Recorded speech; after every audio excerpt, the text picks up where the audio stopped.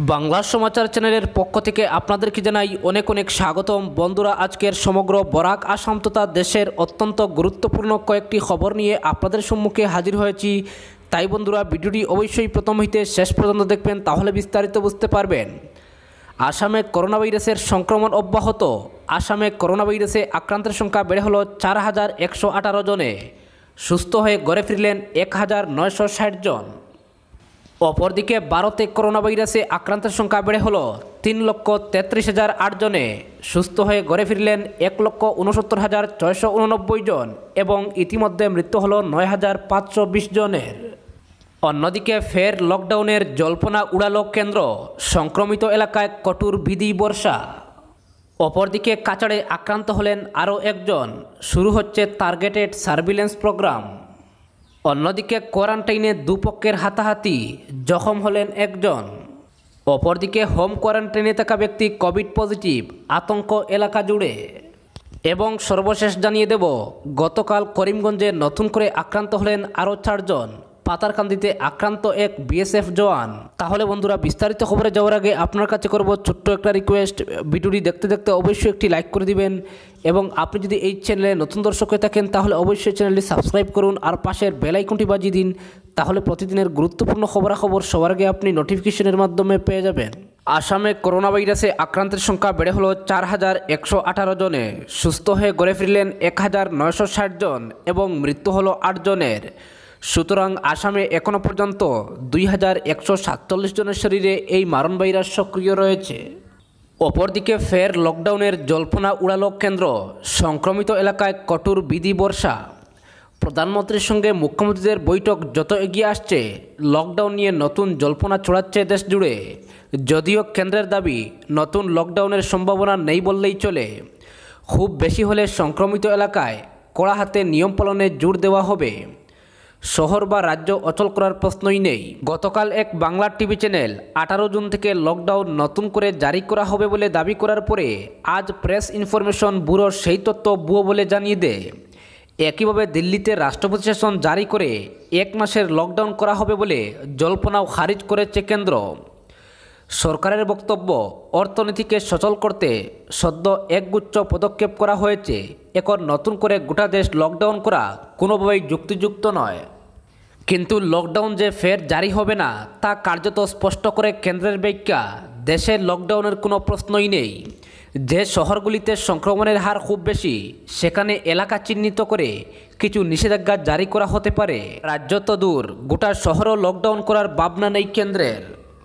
অপরদিকে কাছাড় জেলায় আক্রান্ত হলেন আরও একজন।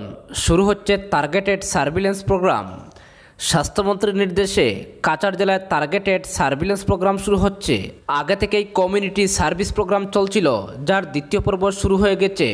যেসব এলাকায় বা জনগোষ্ঠীতে বিশেষ তত্ত্বাবধানের প্রয়োজন রয়েছে, সেগুলোর তালিকা তৈরি করে স্বাস্থ্য পরীক্ষা ইত্যাদি শুরু হবে। স্বাস্থ্য বিভাগের আধিকারিক সুমন চৌধুরী রবিবার খবরটি জানিয়েছেন।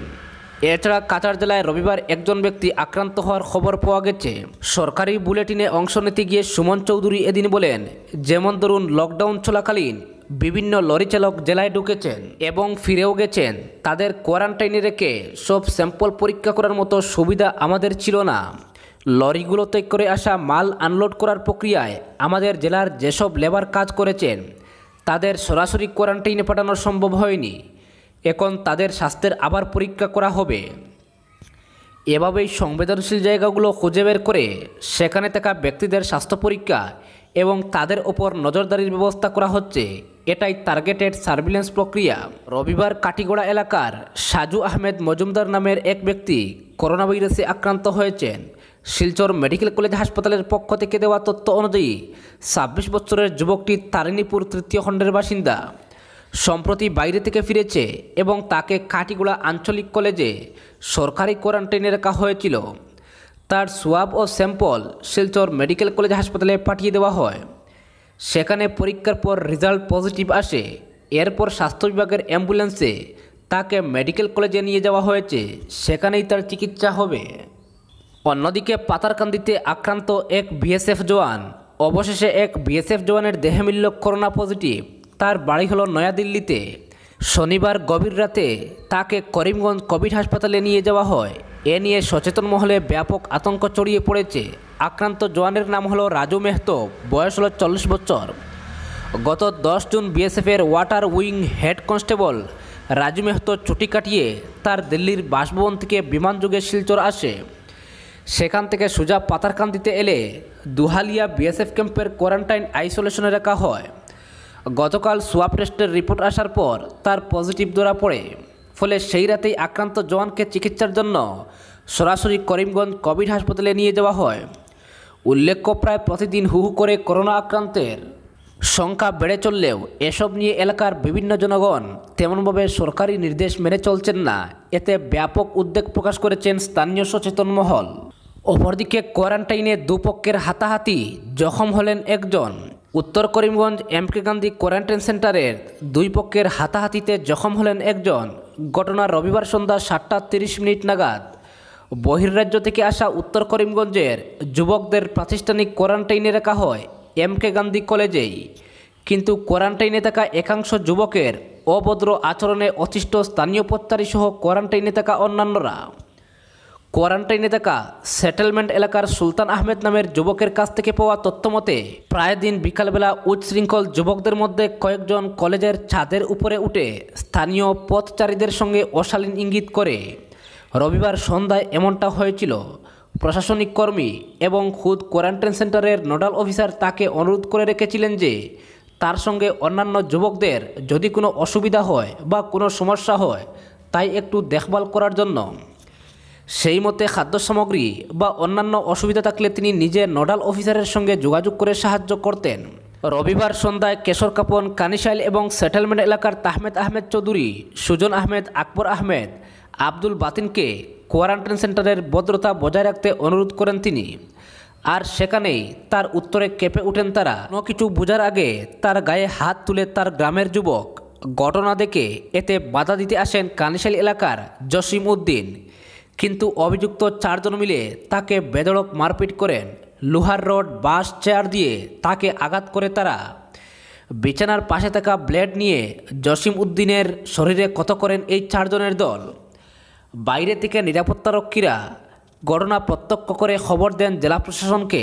খবর পেয়ে স্বাস্থ্যকর্মীদের নিয়ে উপস্থিত হন কোয়ারেন্টাইন সেন্টারের চেয়ারম্যান তথা উত্তর করিমগঞ্জের বিধায়ক কমলাক্ষ দে পুরকায়স্ত উপস্থিত হন সার্কল অফিসের কর্মীরা সহ পুলিশ প্রশাসন। উল্লেখ্য এম কে গান্ধী কলেজের কোয়ারেন্টাইন সেন্টারে মোট পঁচিশ জন রয়েছেন কোয়ারেন্টাইনে। রবিবার উনত্রিশ জনকে সেখান থেকে হোম কোয়ারেন্টাইনে পাঠানো হয়। অন্যদিকে হোম কোয়ারেন্টাইনে থাকা ব্যক্তি কোভিড পজিটিভ, আতঙ্ক এলাকা জুড়ে।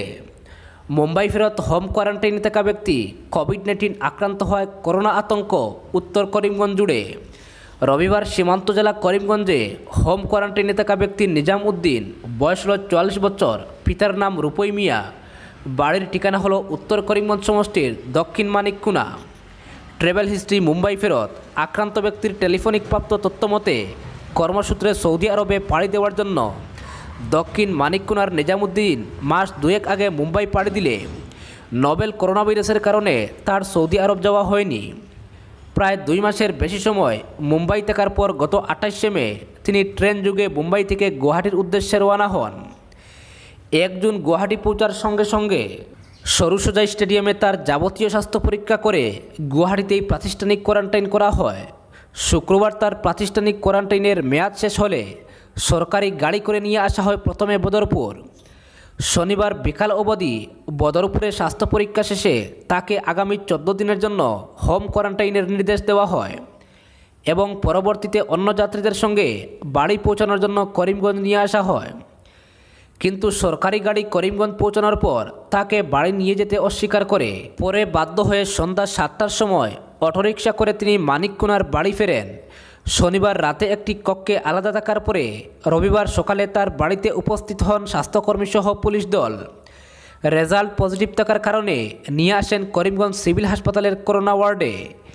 এদিকে হোম কোয়ারেন্টাইন থাকা ব্যক্তির শরীরে করোনা জীবাণু ধরা পড়ায় গোটা সীমান্ত এলাকায় আতঙ্কের সৃষ্টি হয়েছে। তাৎপর্যপূর্ণ বিষয় হচ্ছে যে সরকারি নির্দেশনা মতে কোয়ারেন্টাইন থাকা ব্যক্তিদের সরকারি গাড়ি করে বাড়ি পৌঁছানো হয়, কিন্তু নিজামুদ্দিনের ক্ষেত্রে এই নিয়ম পালন করা হয়নি। সেটেলমেন্ট এলাকায় তাকে গাড়ি থেকে নামিয়ে দিয়েছেন সরকারের ভাড়া করা গাড়ি চালক। একটু সময় অপেক্ষা করে তিনি অন্য একটি গাড়ি নিজে ভাড়া করে বাড়ি ফিরেছেন। একদিন পরই তার রেজাল্ট পজিটিভ জানা গেছে। এক্ষেত্রে আতঙ্ক থাকা স্বাভাবিক। কোন অটো ভাড়া করে তিনি বাড়ি ফিরছিলেন বা সরকারি গাড়ি থেকে নেমে বাড়ি ফেরার আগে পর্যন্ত কোনো ব্যক্তির সংস্পর্শে ছিলেন কি না বিষয়টি কিন্তু যথেষ্ট গুরুত্বপূর্ণ এবং চিন্তনীয়। যদি নিজামুদ্দিনের কাছ থেকে জানা গেছে যে তিনি বর্তমানে সম্পূর্ণ সুস্থ, অন্যদিকে করিমগঞ্জ সীমান্তের দায়িত্বে থাকা সীমান্ত সুরক্ষা বাহিনীর এক জওয়ান কোভিড নাইন্টিন আক্রান্ত, রবিবার মোট চারজন ব্যক্তি কোভিড নাইন্টিন আক্রান্ত হলেন করিমগঞ্জে। হোম কোয়ারেন্টাইন থাকা দিল্লি ফেরত বিএসএফ কর্মী রাজু মেহতো, মানিককুনার মুম্বাই ফেরত নিজামুদ্দিন ছাড়া অন্য দুইজন হলেন। নিলামবাজার এলাকার যথাক্রমে আব্দুর রহমান এবং সেলিম